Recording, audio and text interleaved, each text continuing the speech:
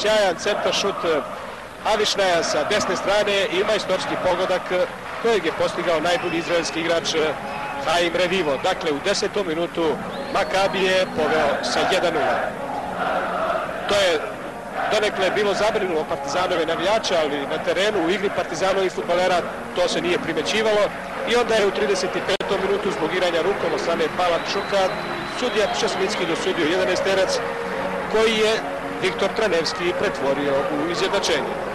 To je već ulilo sigurnost i među gledalce, a naravno povratilo samopouzdanje Partizanovim futbalerima koji su u finišu prvog polovremena i u nastavku susreta zaigrali još bolje, nametnuli žestok tempo i kao plod takve igre došao je drugi gol u 52. minutu. Nakon kornera kojeg je izveo Darko Tešović, majstorski se, pogledajte, ubacio Savelić na prvu stativu i savladao Ronija Ginsburga koji je odleteo u prazno. 2-1, 52. minut.